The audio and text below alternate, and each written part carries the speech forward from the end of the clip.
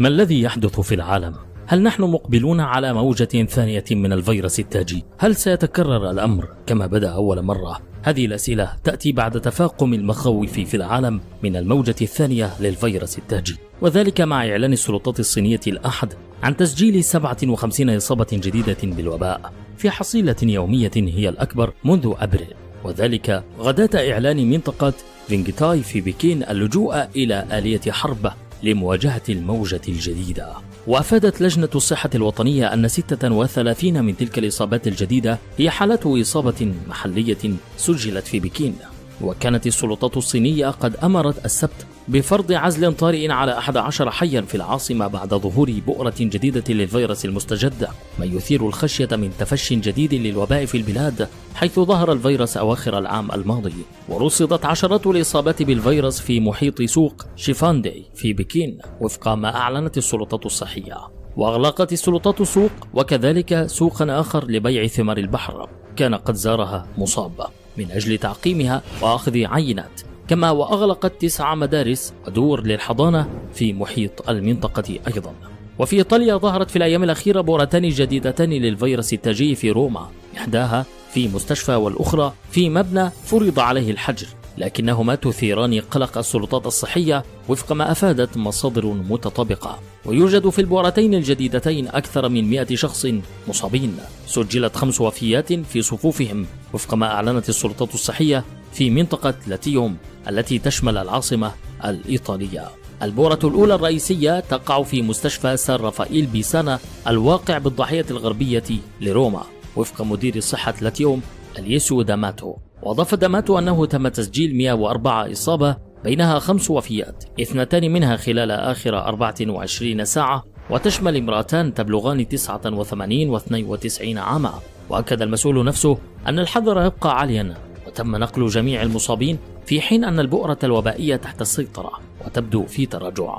وظهرت البؤرة الثانية في مبنى في ضاحية جرباتيلا جنوب روما وفق المصدر نفسه. وسجلت تسع إصابات في هذه البؤرة تشمل عائلة من البيرو وزوجين وطفليهما وأربعة من أقاربهم. وقد نقل جميع المصابين إلى المستشفى. وفرض حجر على المبنى الذي طوقته الشرطة. في نفس الوقت هناك استمرار لارتفاع أعداد المصابين بالفيروس التاجي في الولايات المتحدة بعد تسجيل 25 ألف إصابة جديدة و700 قتيل. وقال أنتوني فوتشي كبير خبراء مكافحة الأمراض المعدية في الولايات المتحدة أن ارتفاع عدد الإصابات بالفيروس الذي أبلغت عنه عدة ولايات قد يخرج عن السيطرة إذا لم توضع نظم قوية لتعقب المخالطين. وأوضح فوتشي لشبكة سي إن الإخبارية الأمريكية أن الولايات المتحدة معرضة لزيادة في عدد الإصابات مع رفع القيود عن النشاط الاقتصادي. وأضاف عندما تبدأ في رؤية المزيد من الحالات بالمستشفيات فهذا بالتأكيد علامة تحذير بأنك في موقف تتخذ فيه الاتجاه الخاطئ.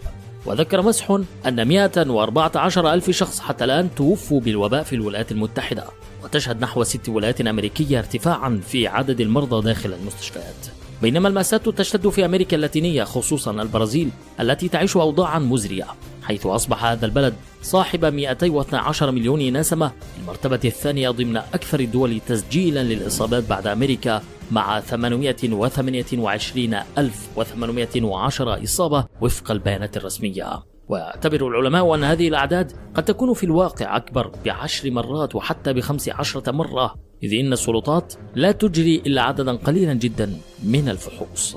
وتسجل البرازيل 199 وفاة من أصل كل مليون نسمة وهو معدل أقل بكثير من ذلك المسجل في الولايات المتحدة وهو 344 من أصل كل مليون شخص أو في بريطانيا حيث تسجل 611 وفاة لكل مليون شخص. ولا تزال ولاية ساو باولو التي تعد 46 مليون نسمة الأكثر تضررا جراء الوباء في البلاد. بتسجيلها ربع عدد الوفيات الإجمالية 10368 و 167900 إصابة. وعربيا لم يكن الأمر مختلفا في عدة دول. على سبيل المثال تم تسجيل 1618 حالة جديدة ثبتت إيجابية تحاليلها معملية للفيروس في مصر. وذلك ضمن إجراءات الترصد والتقصي التي تجريها الوزارة وفقا لإرشادات منظمة الصحة العالمية. إضافة إلى وفاة 91 حالة جديدة. وكانت إيران هي أول دولة في العالم أبلغت عن موجة ثانية من عدوى الفيروس التاجي المستجد بينما كانت بصدد تخفيف تدابير الإغلاق التي باشرتها شهر فبراير بحسب صحيفة ديلي البريطانية. وسجلت إيران رقما قياسيا في عدد الإصابات في الشرق الأوسط بلغ 3574 حالة إصابة مؤكدة متجاوزة بذلك أسوأ يوم لها بلغ 3186 حالة سجلت في الثلاثين من مارس. وبدأت إيران في تخفيف قيود الإغلاق التي فرضتها قبل في منتصف أبريل مستفيدة من انخفاض ظرفي في عدد الإصابات. لكن في شهر مايو عرفت إيران موجة أخرى من الإصابات وقد تجاوزت الآن ثلاثة آلاف حالة لمدة ثلاثة أيام متتالية. وذلك بالموازاة مع إعادة فتح الصالات الرياضية والمكاتب العامة في عطلة نهاية الأسبوع. ويرجع مسؤول الصحة الإيرانيين بحسب صحيفة الشرق الأوسط سبب الموجة الثانية في الواقع نتيجة تسارع وتيرة الاختبارات ودقة أكبر في تسجيل البيانات وذلك بعد أن أثيرت شكوك حول دقة بياناتها عندما ضرب الفيروس لأول مرة إيران. وفي غضون ذلك شهدت إيران انخفاض عدد الوفيات جراء فيروس كورونا ويؤكد ذلك جزئيا حقيقة أن أرقام الوفيات اليومية في البلاد لم ترتفع مع إجمالي عدد المصابين.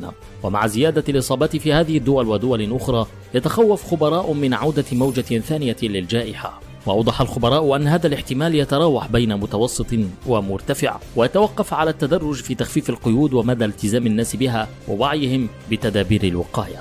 المدير الإقليمي لمنظمة الصحة العالمية في أوروبا نصح بضرورة الاستمرار باتباع إجراءات العزل بشكل مدروس. حيث إن الوضع اليوم ليس أفضل مما كان عليه في بداية العام في ظل غياب أي علاج أو لقاح للمرض بحسب منظمة الصحة. وحول توقيت الموجة الثانية رجحت الهيئة الفيدرالية الروسية لحماية حقوق المستهلك بأن تكون الموجة الثانية لكورونا خلال استفاقة العدوى الفيروسية التنفسية الحادة سارس. وبالتالي من المحتمل أن يعود الفيروس التاجي في الخريف القادم.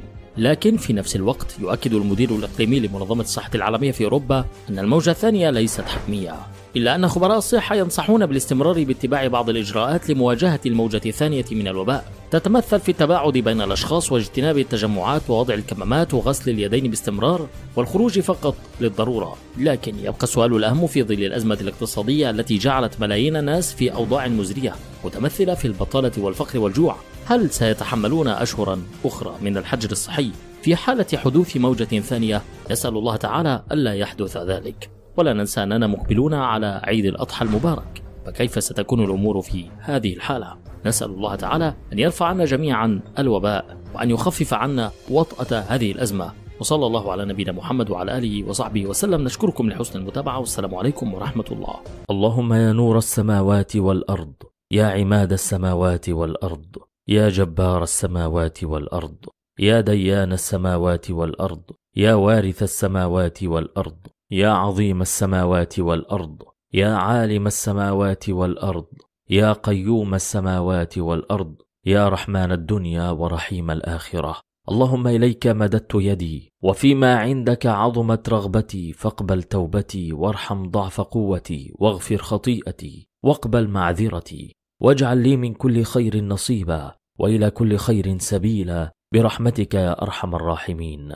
اللهم لا تحرمنا سعة رحمتك وسبوغ نعمتك وشمول عافيتك وجزيل عطائك ولا تمنع عنا رزقك لسوء ما عندنا ولا تجازينا بقبيح أعمالنا ولا تصرف وجهك الكريم عنا برحمتك يا أرحم الراحمين.